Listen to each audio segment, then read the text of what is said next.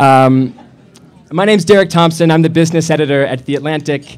Um, it's a real pleasure to be here and a real pleasure to be speaking uh, with the governor of Colorado, Governor John Hickenlooper. Um, for those of you who live in Colorado, you probably know a lot of uh, his more uh, eccentric stories, but for those of you from out of state, which I think probably involves quite a, bit, quite a few of you, uh, given the nature of this, uh, this festival, I wanted to list at least four uh, strange and notable facts uh, about the governor of Colorado. The first is that he's a jack of all trades. He was a fired, or I'm sorry, laid off geologist who uh, founded the uh, Wynkoop, a brewing company, uh, one of the only politicians to be both, uh, I think, a fired geologist and someone who started a brewing company, um, uh, which has sort of helped to revitalize uh, Lodo, the lower part of downtown Denver. Second is he's a showman.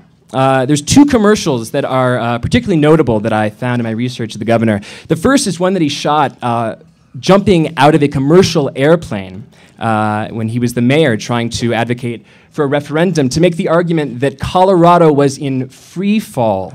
Even though uh, he's reportedly afraid of heights, he took two takes. The other commercial uh, was him taking a shower with all of his clothes on in order to protest Colorado's dirty politics. Uh, and even though taking a shower with all of your clothes on is not advisable, that particular commercial had seven takes. The final uh, uh, fact that I wanted to, to say is that he's a compromiser, and not just when he's elected.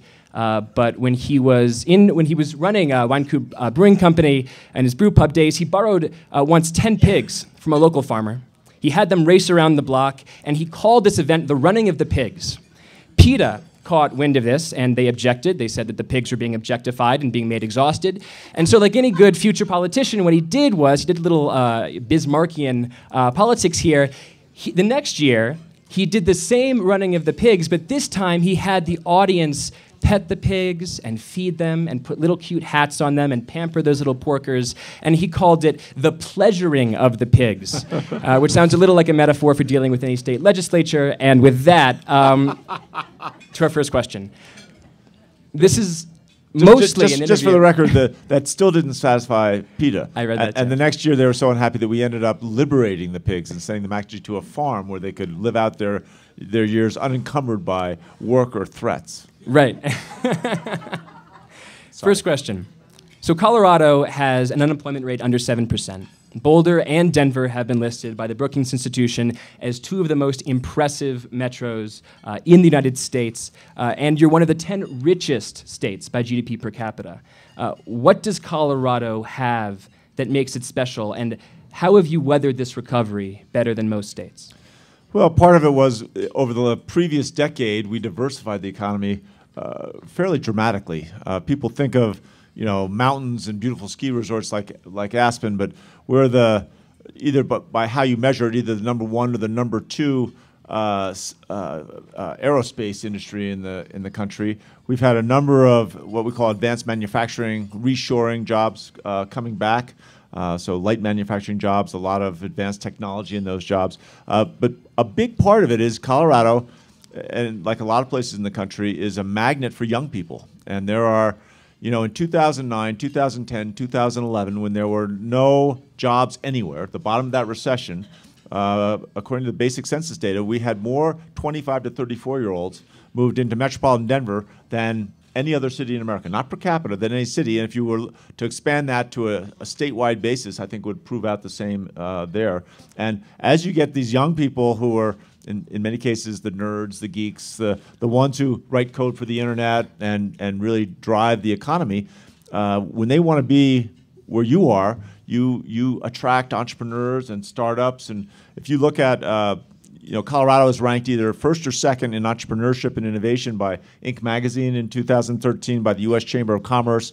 I mean, th this young energy. Uh, obviously, uh, there I know there are some great experience and talent out there. We need to get you helping these these young entrepreneurs. But there's just a, a, a real energy about startups, and, and it's, it's a lot of it's in Boulder, but you see it in Colorado Springs, you see it in Fort Collins, you see it all over the state. Durango.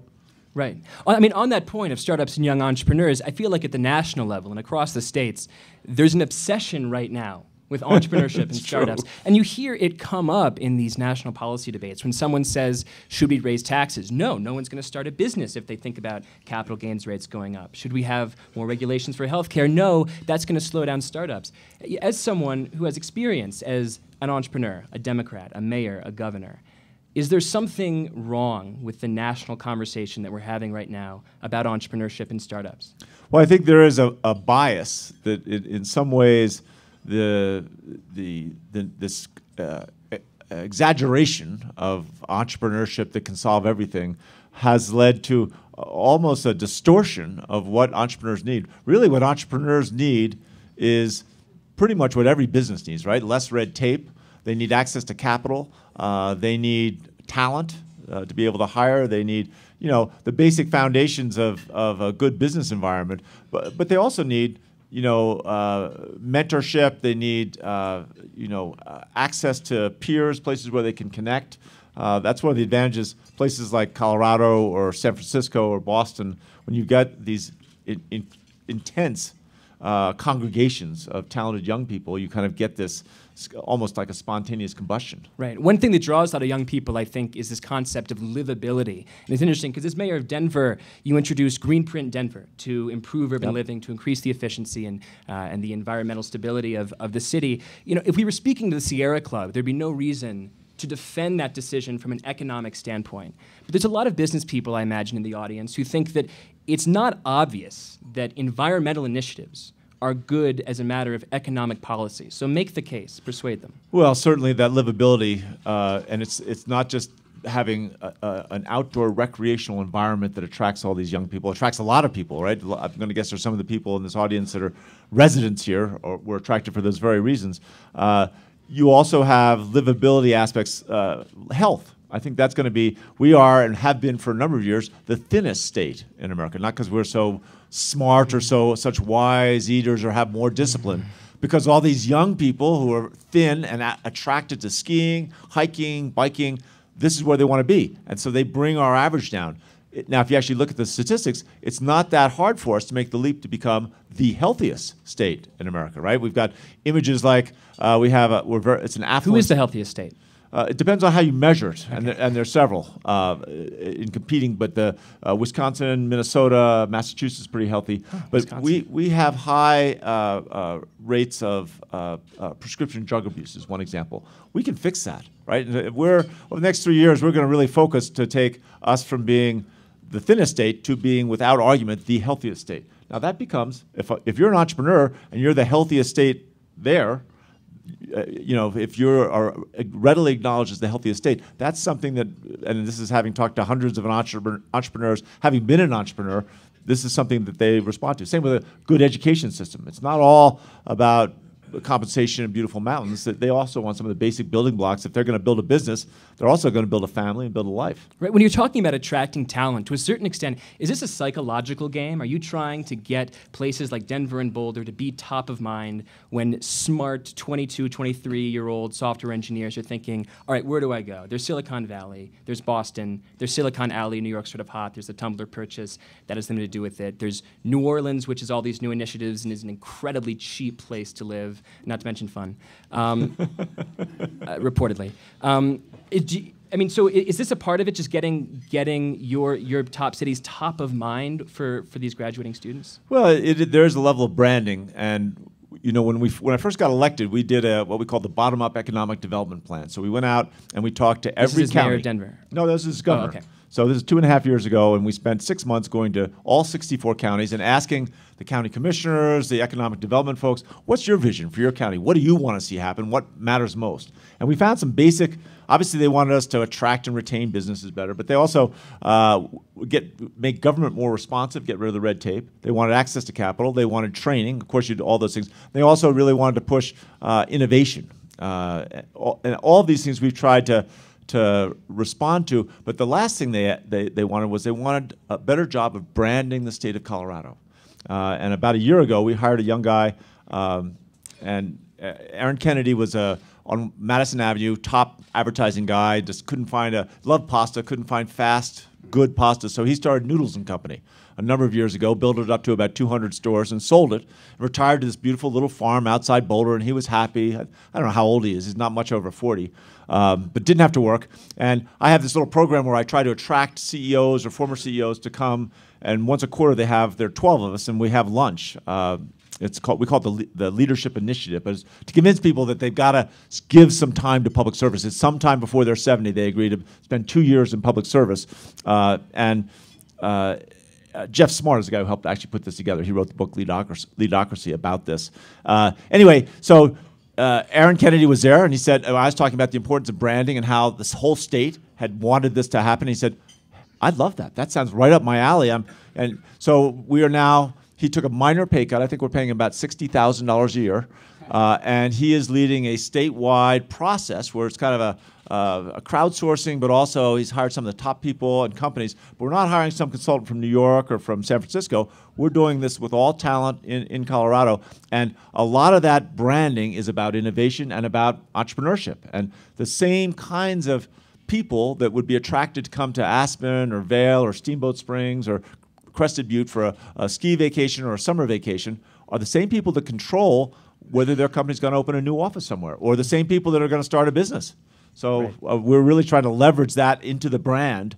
And he's, uh, you know, we're going to roll this out in the end of August. It's, it's going to be pretty good. Right. Well, the name uh, Hickenlooper uh, opens you up to a lot of nicknames, uh, and one of them is uh, Frackenlooper, uh, in reference to the fact that you're seen as cozying up uh, to natural gas more than some of your predecessors. And it's interesting because in a, in a serious way, Colorado's a crucible of the national debate about energy. You have some staunch environmentalists, you have these shales, you have this serious interest to jumpstart uh, you know, these mining and construction businesses from, uh, uh, from, from fracking. How do you balance these competing interests to help your state's economy while protecting the environment?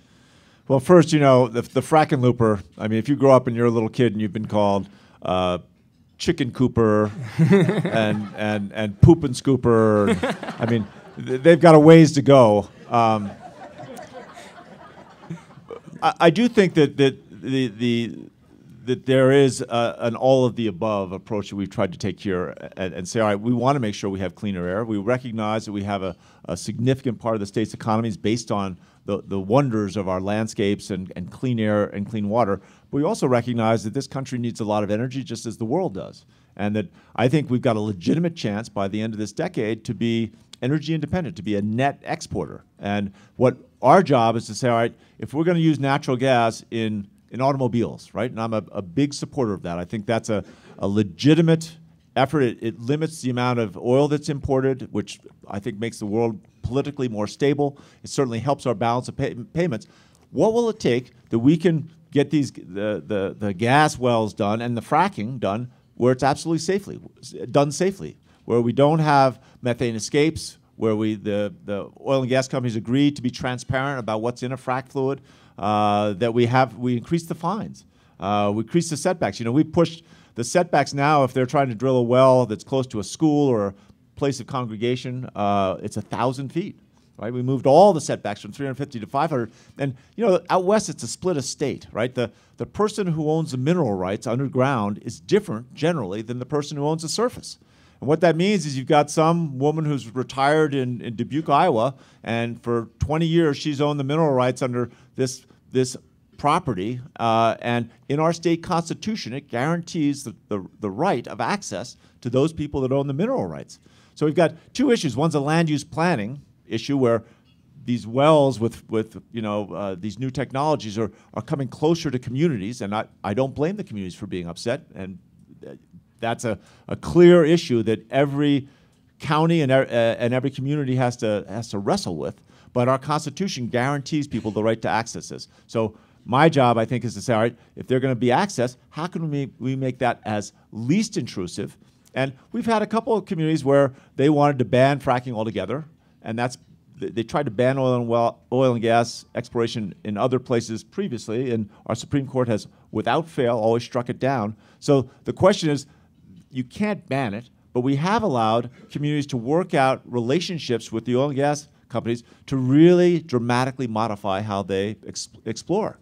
And I think with great success in some of the most beautiful parts of the state, the community feels yeah, if, the, if these companies will abide by our our joint operating agreement, uh, th- then th- we can go forward. Right. Well, one thing that clearly drives the economics of states is education, and it's been very difficult for states, especially at a time of recession. Tax revenues are low, um, and the stimulus, the federal stimulus, has been winding down now for, for three years.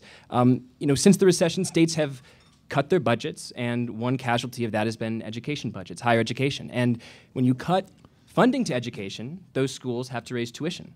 And we already know that tuition costs are extremely high, and student debt is a problem.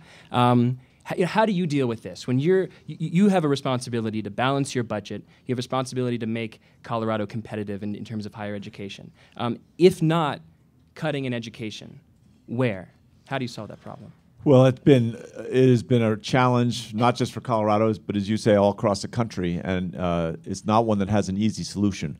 We have tried to bring. When I was mayor of Denver, we we got there's a fellow there named Tim Marquez who started a company called Venoco. Uh, if you're good at buying and selling beer, you can make some a pretty good living. He's good at buying and selling oil fields, and is very successful, mostly on the on the West Coast, and is a very generous. He's one of these people that's not leaving his money to his kids. He's he's going to give it all. He and his wife are going to give it all away in their lifetime. So they got to start before he even turned 50. He gave a 50 million dollar gift to the to the Denver Scholarship Foundation, which allows Denver to say, all right, if your family, you know, we can go into third grade classrooms and say, if your family doesn't have the money, that doesn't matter. If you're willing to work hard enough, we guarantee you the money to be able to go to college. And one of the big issues about rising tuition is access, right? A lot of people, I'm going to guess many of the people in this room, your kids or your grandkids are going to, to college and the tuition goes up. You don't like it. It's not good, but, but you will, you'll be able to survive and your kid will still get an education. The risk is, is, is A, access, and B, huge debts that these kids come out of school and they've leveraged their future. It makes them vulnerable to all kinds of, of I think, bad decisions. So we are aggressively looking at how can we make sure that we get more scholarship resources. We have a great deal already, but expand that from just the city and county of Denver to the entire state. We're also trying to figure out how to. I mean, this is an issue we face in the whole in the whole country. The the economic incentive is skewed. And, and by this I mean, here we are, the most educated, we're the, either the first or the second most educated state in the country, and yet we're struggling to the, the, kids coming out of our public schools and going to the, the, our universities need a great deal of remediation. A lot of them don't finish. And yet it hasn't hurt us because we attract all these creative, talented young people that have got you know, undergraduate degrees or MBAs or PhDs, mm-hmm. and they want to live here. And so what's happening, you know, 50 years ago when this country wasn't so mobile, it didn't matter so much. People would grow up, they'd get, get their high school degree, then they'd get their college education, they'd come back and live where, where, they, where they grew up. Uh, now, where everyone's so mobile, if you think about an economic incentive, some of the schools with the b- best higher ed systems are not able to retain a lot of their. Some of the states. Uh, yes, so, I'm yeah. sorry. Some of, the, some of the states with the best ed- higher education systems are losing all those graduates going other places. That's a significant investment of their tax money that's leaving their state, and I think that's a significant issue that the, you know, that the country has to kind of begin to come to grips with and say, it's not immediately apparent what the solution is. Right, right. I mean, it occurs to me when we're looking at solutions across states. You know, the first answer that you had was that a uh, you know an extremely wealthy you know oil magnate was was donating a lot of his savings uh, uh, to higher education. Um, that's not something that every state can count on. That's that's you know rather if you work hard enough, you can. Oh no, I'm saying you can't. You every that's state can't count on a system is based on accumulating wealth and then figuring out something to do not everyone, but most many people. Oh yeah, no, no, no question there. I'm saying not every state can count on a billionaire to bail out the state's public education true. system. That's true. Um, and you're fortunate in that respect. Uh, but other states aren't. So are there solutions outside of hoping that wealthy people will, will be more generous? Uh, to solving some of these this public higher education crunch. Well, and I went on to talk about trying to do it statewide, and part of that statewide effort is, is figuring out are there public resources that we can use that would uh, expand this, this scholarship approach so that it would be statewide? Because that does allow you to, to raise, and Colorado's way below average in, ter in terms of state schools, uh, in terms of what we charge. Doesn't mean our, our tuition should go up. You know, part of it, this, this is where I'll really get myself in trouble, is there's this this this arms race between our higher universities to see who can have the fanciest dormitory or the best athletic facilities. You look at the amount of capital expenditures that are going to.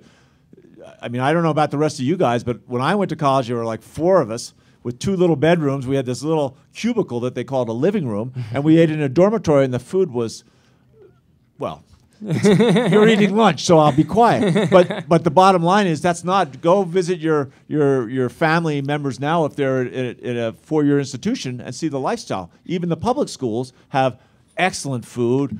You know, very attractive living facilities, uh, athletic facilities that would be the envy of any public high school. Uh, there's and everyone's trying to keep up with each other, so they just keep raising the ante. The ante. Uh, that's I mean that's part of the issue. Right. You brought up college students, so here I'll transition to pot. Um, you haven't uh, been vocally supportive of the passage of the legalization of. of I beg pardon? You ha- have you have you been vocally supportive No, of? No, you. I. I oppose the passage of Right. the of the legislation just because of.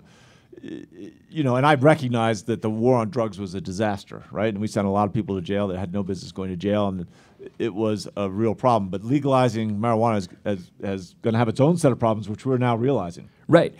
Well, so on that point, you know, you, you when you were uh, a lead officer geologist, you founded a, a brewing company. Um, alcohol kills many more people every year than marijuana.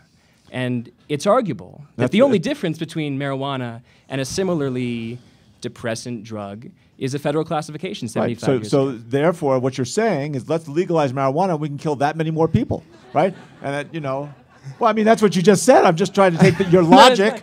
I mean, I mean, you, you did choose right of all, of all the of all the things you could have started. You chose a brewing company, and I, I, I hope that it's because you, you love beer. Well, I, I, I will say that we charged half again more per beer than any of our competitors. So we were really encouraging people to drink far You're- less you're and encourage it more. Against it, okay. If you believe in marketing, no, I, I- I mean I'll kid around about it. Uh, I recognize that there are things I'm worried about, seriously worried about with the legalization of marijuana. One is that, and we've got polls now that begin to demonstrate this, that the kids that are 14 and 16 and 18 years old, they think it's fine. And there are a great many top researchers that when, when young people's brains are still growing, the, the pot now is, is 10 times more potent, uh, 10 times higher concentration of THC than when I was a kid, right? And, and yes, I did smoke pot, and yes, I inhaled pot. But the, bottom line is that if, if, with this high potency pot, they are very worried that, that, that kids are going to lose forever some portion of their long term memory, right? And kids are so young, they don't worry about it. And now they think it's harmless, and they're, we are really working, and we're actually going to go out and, and try and raise. I've gotten a couple hundred thousand dollars uh, raised. I'm going to try and raise two or three hundred more, and really do an advertising campaign that points out some of the risks involved here. Uh, we did go through a legislative session, and no one's ever done this before. But you know, it will be driving under the influence. If they think you've been smoking pot uh, and you've been driving erratically, they will take you and have a blood test. We're, we're gonna, and we're gonna, we will eventually get to the same regulations. You know, one thing, the and the, the this incipient industry is resistant, but we will be every bit as restrictive as the alcohol industry is. Right? When when I applied to get a federal brewing license, you have to map out every square inch of your facility. You have to monitor every ounce you manufacture. If you throw it away, if it's not consumed, you've got to you've got to account for everything. We don't have anywhere near that level of regulation in medical marijuana right? Well, we're going to move to that level of rec- uh, regulation as we go into recreational pot, and it's going to, I mean, it will take some real effort, but I don't see any other way to do it. Obviously, it's here to stay. I, other companies are clearly going to follow this. Uh, it's, a, a, an, I think, a reflection of, of changing trends across the country. Uh, so, i- in that sense, I mean, uh, life goes on. Right. Uh, but there's a lot to be done. Do you, do you see marijuana as a business opportunity, or right now? no, I'm, I'm happy being the governor. Okay. I'll let you get, get away with that because it was a good answer. Um, so, right, the last 18 months uh, of Colorado events have been pretty fraught. There was the tragedy in Aurora, the gun legislation, the backlash to the gun legislation. Uh, you granted recently a temporary uh, death penalty reprieve to a convicted murderer in May. And you've been harshly criticized um, in, in a poll that just came out. Um, you were running neck and neck with Tancredo, uh, which surprised a lot of people. I think not just in Colorado, um, but I was hearing the news in, in Washington D.C. Uh, it was it was it was a national uh, point. Um, you know, you're not elected to be a seismograph for public opinion. You're elected to lead and use your judgment. Uh, how do you do that when, when you're disagreed with, with so loudly on some of these issues? Well, I don't think we've done a very good job of communicating some of the issues. Uh, and the, uh, I'll take uh, universal background checks, right? Right. The gun safety issues. So we were hammered. I think we lost 10 points of, of approval rating based on that. Uh, and, and, one point after the shootings in Aurora, I talked to people all over the state, and pretty much everyone, Republican, Democrats, all thought, you know, for 10 bucks a background check when you I don't I don't buy a gun that often. Sure, that's a good idea. Keep guns out of the hands of the wrong people. So we got to the legislative session, and I couldn't get one Republican to co-sign the bill. And at a certain point, I said, I must be missing something, but let's get the facts, right? In the end, let's go back and get the facts. So we had public safety go back, and we get to about 50 or 55% of the gun purchases each year. Let's see what we found in 2012. So here are the facts. In 2012, just in, the, in Colorado, and these are numbers of, of people accused or convicted, but 90% of them have been convicted. So we had 38 people accused or convicted of homicide, tried to buy a gun. We had 133 people accused or convicted of sexual assault, 620 people accused or convicted of burglary. We had 1,300 people accused or convicted of felony assault. We had 420 people who had a judicial restraining order that they could not see their spouse or their, their, their partner, right? They tried to buy a gun. And, and all these people that kept telling me criminals aren't stupid, right? You're just making it inconvenient for us and you're trying to take our guns away from us. We had in Colorado in 2012 236 people that when they showed up to pick up their brand new gun, we arrested them for an outstanding warrant for violent crime, right? So 2,500 people that we stopped. Now maybe they bought it somewhere else, but you can't argue that this doesn't work, right? That this isn't a significant benefit. That for the cost for 10 bucks per transaction uh, doesn't dramatically reduce the number of guns in people's hands who, who shouldn't have them. How about. Oh.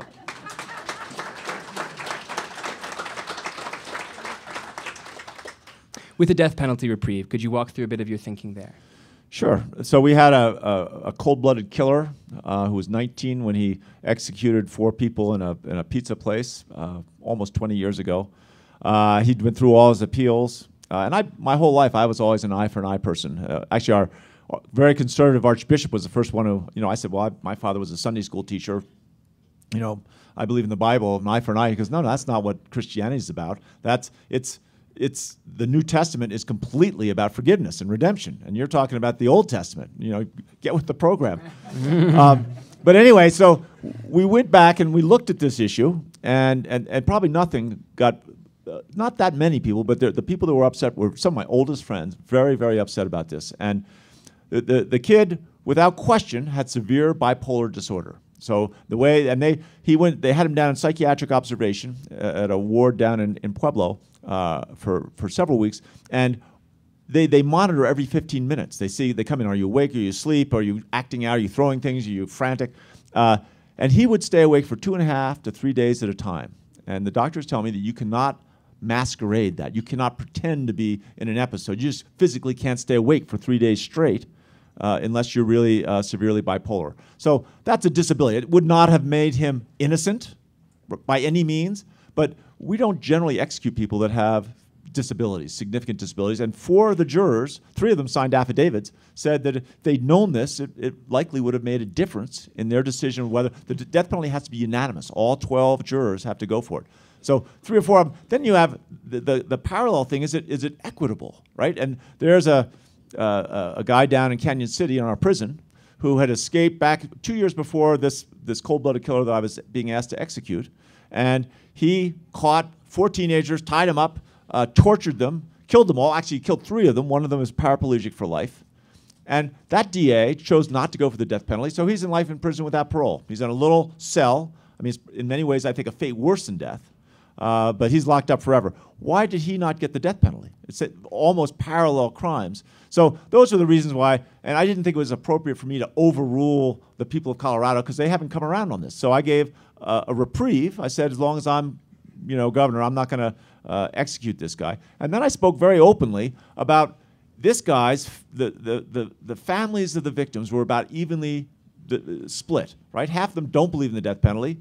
Half of them desperately wanted closure. Well, when you do the research, a number of the people that want closure after the execution don't feel so good about it. The cost, we're at about $19 million of cost. Life in prison without parole is about two and a half, $3 million in present day discounted costs. So we're spending six times more money. There's no deterrent value. I never knew that. I went to these the attorney the district attorneys who were so adamant that we needed the death penalty. The states where they regularly execute people right, Texas, Oklahoma, have no lower homicide rate, no lower incidence of, of heinous crimes, multiple killings, than the states that have outlawed it. And you begin to get a sense that this is where the, why the United States is the last developed country, right? No one in Europe, no one in South America, no, Canada, Australia, New Zealand, no one else is doing it. Israel, no death penalty anywhere except for us. And I think it's partly because we haven't gotten the facts. It, you know, there's a sense that it, it, it's justice and it's retribution, but the facts certainly don't support it. Yeah, that's a good answer too. I have two more questions. I want to go back to the beginning um, a little bit, and I want to ask you what your experience as an entrepreneur uh, taught you about government then and how it's informed your time in government now. And I wonder if, if you can, if you can reach back uh, uh, a couple decades and think what you thought, what your assumptions were about how government works when you were starting a company and fighting the red tape, and what you've learned about why you were wrong or why you were right. Well, certainly, and I was typical of a lot of people. I wasn't involved in government at all. I, I hated taxes. Uh, I was very, very just just repulsed by all the red tape and the bureaucracy that I had to deal with when I was starting the business and to operate the business.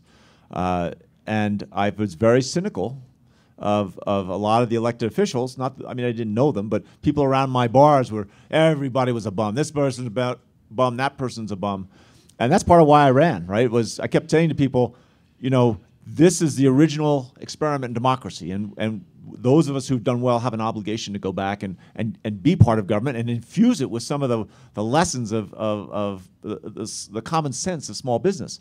And they'd all laugh at me and they said, You should do it, you should do it. And we had this thing over the naming rights of Mile High Stadium, and I, I was in the paper a couple times, and all these people came up and said, You've got to run for mayor. It's an open seat. And I was guaranteed that as long as I never did a negative ad, which I never have, uh, I would never win. I wouldn't have to worry about it, and I could kind of make a little crusade about people getting into government. So I entered it very cynical, and I will tell you that the one thing, the people that work in public service generally, now there are a lot of exceptions, but generally work very hard. They work more than 40 hours a week. They get very little credit, uh, and in many, many cases, they are true public servants in the, in the purest sense of the word. Uh, there are a lot of lessons they don't know, especially elected leaders. You know, I, I think every executive elected leader should spend at least a year running a big high volume restaurant. Because you learn you learn right away when you're running a restaurant there is no margin in having enemies. No matter how unreasonable that person is, you will go out of your way to make sure you have a relationship with them. Right? Elected all these elected officials they love to put down the other guy because they think it lifts them up. They don't realize that there's got to be a relationship down the road. They, they, it's all short term looking. The attack ads. I mean, one of the biggest problems with this country, and I mean this sincerely, is is is, is the, the level of attack ads, and you never see Coca Cola doing an attack ad against Pepsi, right? Because it would work. They're very effective. Pepsi's sales would go down, but Pepsi would have to do a counterattack against Coke. Coke sales would go down. They'd do a counterattack. All of a sudden, you know what happens is you you end up diminishing the entire product, product category of soft drinks, which some of you would say is not a bad thing, right? But the, the real bottom line is what we're doing now is we're diminishing the product category of democracy, right? People are turning off their TV, switching the channel, and, and we should not accept that.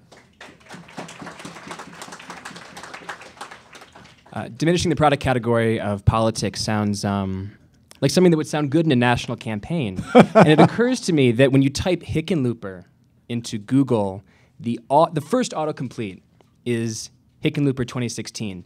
So I want to ask you if you um, have any announcements you'd like to make um, at so, this restaurant. So, so this is this is the power of the media, where they can spend a good thirty or forty minutes explaining all the things you've done that have made you so unpopular, right? And it's diminished your your attractability, your electability on, on every level between environmental communities and, and, and death penalty advocates and all those different components, and then suggest, but just in case, why don't you run for president? I, I, think I think the last six months uh, probably more than anything else, demonstrated that uh, that I am. I try to be apolitical, right? I've hired almost as many Republicans as I have Democrats. I try to make these decisions based on facts and evidence that it, wherever possible. You know, my son got into this fight uh, a couple months ago where he said that he was complaining about homework. I said, "Oh, this is a glory years." He said, "Daddy, you're you're crazy. What do you do that's so hard every day? You, you make decisions." He says, "Daddy, get the facts, make a decision, check next." I said, "Well, no, no." He goes, "No, Daddy, get the facts, make a decision, check next." Well, the, what we try to do is get the facts and get facts that everybody agrees to, and you know, then you try to, to, to, to make decisions based on those facts and not on the politics, and you get hammered. It's, it's hard to imagine anyone like me. I'm, I'm amazed I got elected governor. We'll see what happens in the reelection. I, I, we have no interest in, in, in running in 2016, just so we're absolutely clear. I was going to So- ask you if you were right, if there was any announcement, uh, pro or negative. No. That was pretty, uh, uh, pretty uh, concrete. Um, those are all the questions that I wrote down on my piece of paper. So we have, it looks like about 20 minutes. Is that, yeah? Uh, we're going to open it up. Uh, we have some uh, mic runners, and they're going to find you, and um, you're going to speak into that. I was trying to be It's- more concise. Obviously, I should have I- talked longer. Right, right. Right over there is first. Hi, I'm Zachary Karabell. Um, so I've asked this question of a number of uh, extremely successful, charismatic, dynamic, s- local and state elected officials. That leaves me out. um, I wasn't going to mention, I wasn't going to say anything about that comment, so we'll leave that hanging. Um, which is one, why do you believe that most of the creativity and nimbleness and responsiveness to actual needs takes place at best at the state level and usually at the mayoral level, uh, rather than ever at the federal level, which has not always been true, but it clearly would appear to be true. So why do you think that is? And does the does the dysfunctionality of our our federal system and its, its ability to respond meaningfully and creatively to challenges? You said you ran for office because you were so dismayed by people's dismissiveness of the officials locally. Given how dismayed we are of our officials nationally, would that ever lead you to consider that, or do you just feel it's it's an irredeemable process right now and not worth the time? Well, it's, it's certainly not irredeemable, and I think we've gone through cycles throughout the country's history of divisiveness and then coming back together again, divisiveness, uh, the, the partisanship rising. Unfortunately, most times that we've come back together, it's either been a world war or a depression or something like that that helps bring the, sometimes both, uh, bring the country back together again.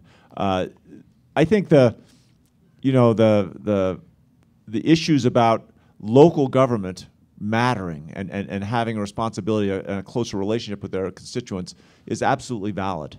Uh, and this part of the state's job is, is I tell people all the time, we want to be as, as, as strong partners as we can with our counties and our municipalities. And my first day, uh, right after the inauguration, I gave my inaugural address and I sat down and signed my first executive order, which said we would not pass along any unfunded mandates or demands to our local governments, and that we would do everything we can to be th- their partners uh, as long as we get uh, within the bounds of the state constitution. Uh, and I think that's the appropriate role of the federal government with the states is that they shouldn't just be making you know willy-nilly decisions.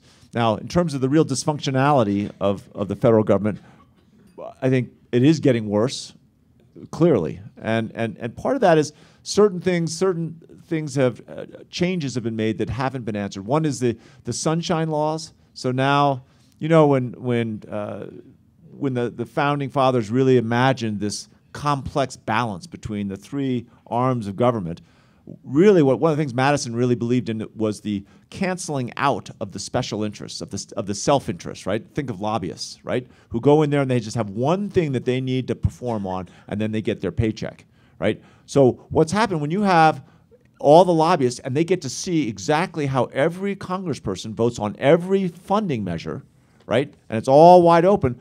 There's no way that those those congressmen can survive if they take uh, all they have to do is is, is I was going to say piss off. Well, I guess I did say piss off. Uh, all they have to do is antagonize uh, one, uh, you know, or let's say four of these of these powerful constituencies, and they'll they'll get a primary. They, they'll quite likely get taken out. The, the, the power is immense. And in the old days, I, again, I, I believe in transparency. I think that government should be open. But I think those funding decisions, in the end, there is a value once you've elected your representatives. These are the best we have to let them make their decisions and, and trust they'll do it right and let them have some anonymity. So, uh, you know, in the old days, they'd come out of a meeting and say, you know, I am so sorry. I, I tried to get you your, your subsidy for your railroad. I really, you know, came close to getting this, and, and I'll do better next time. Now there's everybody knows, and you see that's part of wha- what, and then you put into that these attack ads and the ability of of companies to really uh, spend enormous amounts of money uh, in, the, in the campaigns, it, it really does skew the, the, the entire system. Where's the mic? Uh, let's. One. Uh, sorry. Yeah, one right here first. Governor, this is a fun question. Did you come up with the campaign commercial to uh, stand in the um, shower with running water? no. no, but I agreed to do it. I'm not sure which shows more of a lack of judgment. no, that was that was uh, uh, you know the idea, and I'm not sure whether it was our our our, our uh, you know our our media uh, director or whether it was a team effort. But the, I mean, the idea was to go keep getting into the shower in seven different changes of clothes for those of you who haven't seen it. And then the voiceover says, every time I hear one of those attack ads, one of those negative ads, I just feel dirty and I want to wash out. So there I am in my suit washing soap on. Uh, luckily, I don't own many suits, but they're old, so I could afford to lose a few. anyway, thanks. Uh, let's come in here. We'll go right here. You can, you can have questions for your whole, your whole table. Right. Uh, Gary Gerst from Illinois. I'm not sure I would wish this on anyone, but if those of us in Illinois could talk you into leaving Colorado and becoming governor of Illinois, oh, thanks. To the extent that you're familiar with anything in that state, what would you do uh, when you became governor of Illinois? Oh, I, you know, I'm not sure I know enough about Illinois, although I do love the state, and I am a huge you know, I, am dyslexic, so I'm a very slow reader. So I could never take a history class during college. And yet I love history. So now that I can, it takes me literally two months. But when I read uh, Doris Kearns Goodwin, uh, uh, Team of Rivals, and so much of that is kind of talks about Illinois and, and where Illinois came from, uh, and it, it's it's just uh, it's totally engaging, and it made me think that if I was in Illinois today and I was in some some form of public service, I would keep going back to the way things were 100 years ago and try to get people to, you know, to pick up the moral courage and the, the, the will to say, all right, we are going to be transparent. We're not going to do these backroom deals, and, and we're going to kind of transform our, the expectations of our community. That's part of what all these challenges are is we have to figure out a way to get people to believe again, to believe in them, to believe in their community, to believe in their government, to believe in themselves. Uh, and I think that's a, uh, one of the things we've lost with attack ads and all this fallout from uh, negative politics. Go right there. I'd like to ask you about gerrymandering. Do you share the view that uh, that is uh, one of the causes of our political dysfunction? Uh, what are the what is the situation in Colorado as far as districting, voter districting goes? And uh, do you have any feelings about what the, if you think it is part of the problem, do you have any feelings about what the remedy might be? Well, I think it is a problem. It's less so here in, in, in our redistricting.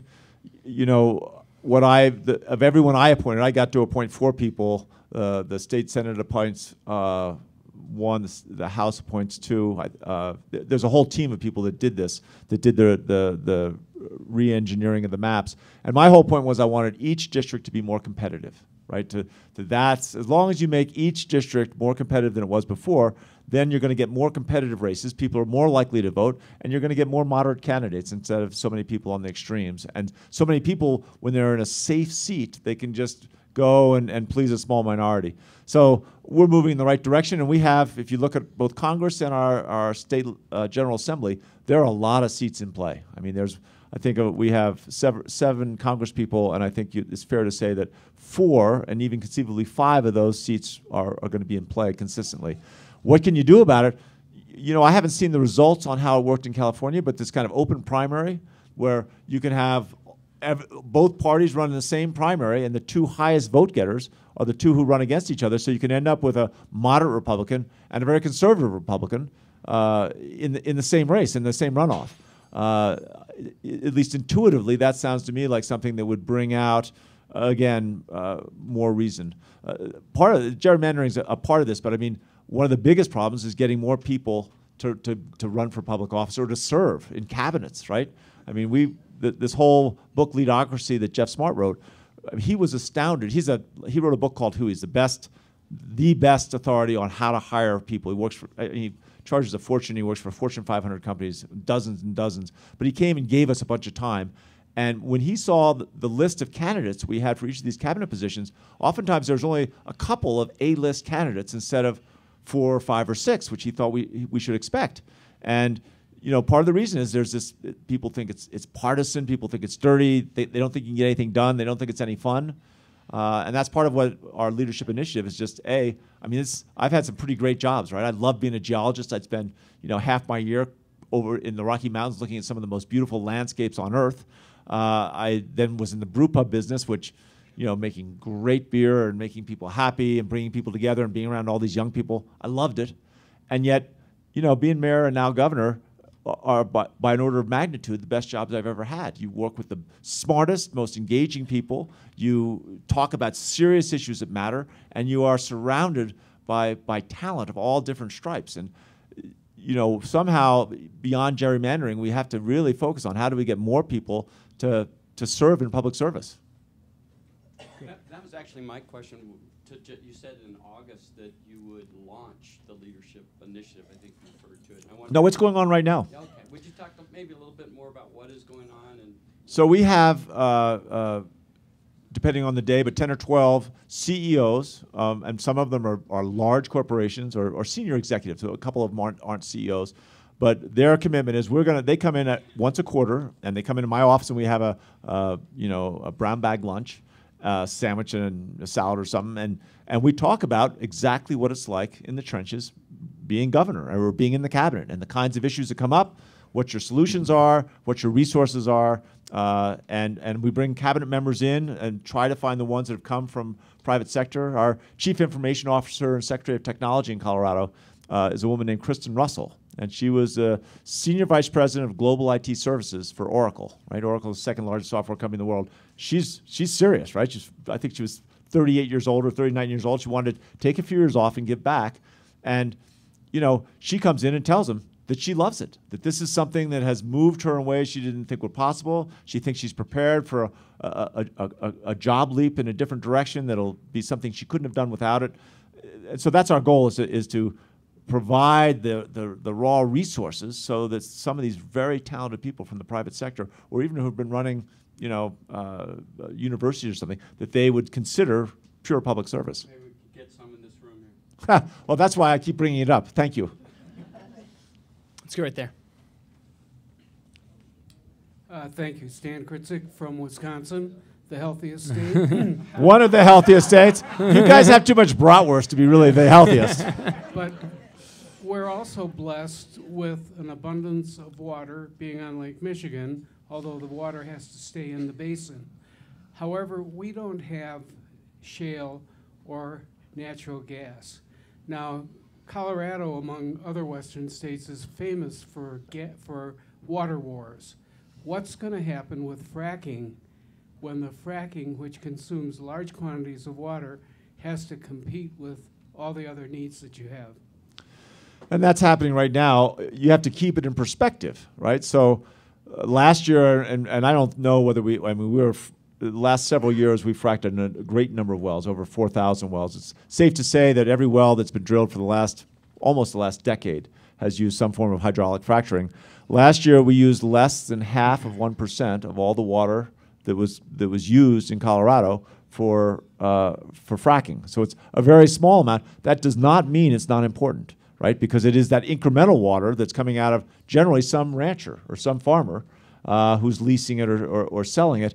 And I am a huge believer that that our food production is a, is a, is a is, is part of our national security. And diminishing any water, taking away from farmers or ranchers, is something we should examine very, very closely. And you know, I, I look at it. The, the bigger challenge, I think, is is growing suburban communities with big bluegrass lawns. They're the ones who are really sucking up. I mean, the fracking is a fraction compared to suburban lawns, and there is a, a, a, challenge there that is, you know, immense. That, that somehow we have to create a culture of conservation, whether it's in fracking. You know, a lot of the oil, the larger oil and gas companies are committed to totally closed loop recycling uh, processes for their fracking, which will dramatically reduce the amount of water that they're they're going to consume. Uh, we don't have, we haven't, we've had great success with some of our urban communities, but not with all of them. And I, you know, we've got a tremendous amount of Colorado's food is grown in Colorado, out on the eastern plains, and some of it even up in the mountains. Uh, and I think it's a, an imperative for, for the entire state to recognize that and protect the, the water that makes that, uh, that agricultural community uh, possible. The $40 billion a year uh, industry in Colorado is, is agriculture. Let's go towards the back of the room. Um, whoever's closest to you. One of the problems with beautiful Colorado right now are the wildfires, which seem to be burning up our gorgeous forests. Uh, is there anything that the state can do to mitigate this problem? Well, there's some things we can try to do about the wildfires. I, this morning I flew down over uh, Pagosa Springs and, and South Fork, and, and it's it's grim. We landed, we went in and uh, talked to the went to the incident command and, and just heard what the real facts are. And they haven't lost a structure yet, but the the smoke down there and the, the it, it's just miserable. They've they've got a lot of people that have been out of their homes for I think a number of on on, on for five days now. Uh, we can do a better job of of you know preparing the far the, trying to get more of the deadwood out of the forest. But we're talking millions of acres of beetle kill, right? That is incredibly expensive to really expect the U.S. Forest Service or the Bureau of Land Management to go in there and cull that much dead timber out, out of the woods. It's it, it, uh, hundreds and hundreds of millions of dollars. Uh, and, and even then, you're not completely. When we had the big fires last year, Waldo Canyon and High Park, the two big on the, on the kind of eastern part of the Front Range, uh, neither of them had were fueled by uh, huge stands of dead timber. So that's not it's not the only solution. One of the big issues is, is we, we learned from last year, so now we get local, when that local community, they're the first responders, when they can't handle it, they ask for state help and then federal help. An order of magnitude, what was what was last year a matter of days is a matter of hours this year, and that's why we've had, I think, despite all the loss in the Black Forest, which was densely populated, uh, we've had more success. But we've also had a bunch of issues of people who are living in the wildland urban interface are unwilling to, they want wood shake roofs, right? Hey, the, you, if you're going to live out there, you can't have a wood shake roof, and you, you shouldn't have a wooden deck up against your house, right? And, and clear back the, the, the large trees that are going to catch you know, blowing embers in a high wind event and, and, and back them off at least 30 feet. Some people would say 50 or 100 feet from your home. Get rid of the dense underbrush, right? Do what we call you know, defensible space because that will dramatically reduce the, the losses. That does not reduce the fires. And again, we're, this is, I, depends on how you feel about climate change. I, is this climate change? I don't know. I think it is. I, am not, I don't think the facts are there uh, incontrovertibly to say absolutely one way or the other. But I, I keep telling people, you know, I am awfully sure I'm not going to have an electrical fire in my house. I feel very secure about that. And yet, every year I buy insurance, right? My bank, my mortgage requires me to buy insurance, right? And you know, it's about it works out to about a half a percent, half of one percent each year that I pay on that. We, if even if there's a chance, right? Forget about the fact that 90% of the climate scientists are convinced this is happening. It's mankind's activities. Even if you put that to the side, we should be spending tens of billions of dollars a year, if not more, just as insurance to, to safeguard our economy from some of the consequences. And firefighting, I mean, we spent, it, it just in the Black Forest fire, we spent about $10 million. And, and obviously, we, we saved hundreds and hundreds and hundreds of homes. I mean, that, I'm not saying that money wasn't well spent, but it is an enormous cost. It's going to go forward. Look at some of the coastal areas, what their uh, liabilities and, and vulnerabilities are. Uh, this the, the, drought and temperature uh, disruption is, is has uh, poten- huge potential consequences. We have time for uh, one really quick uh, question and uh, one really quick answer. Uh, so no pressure to either of you, but why don't we go right there?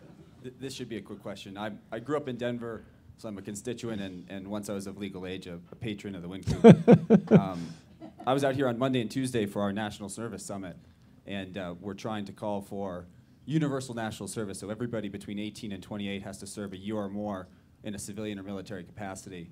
And I'm wondering if you support that idea if you'd like to uh, make a commitment to, to do something like that in Colorado. You know, the, um, in the 30s, the CCC put 3 million people into the forest at a, at a cost-effective way to fight forest fires. So to follow up on that last question, that could be something that would be im- implemented in Colorado. So I'm curious for your take on that. Well, I, I cer- have long been a believer in public service, and I think uh, uh, some universal form of public service uh, helps break down some of the social barriers and, and allows us to, to, to come together on these difficult issues we've got to discuss uh, going forward. So I support that. Whether you can do it state by state, uh, I'd have to look into that and see what the what the, the pros and the cons and what the consequences are, because there could be some unintended consequences there that that I don't immediately see. On the surface, it seems fine. Governor, thank you very much. Everyone, thanks so much.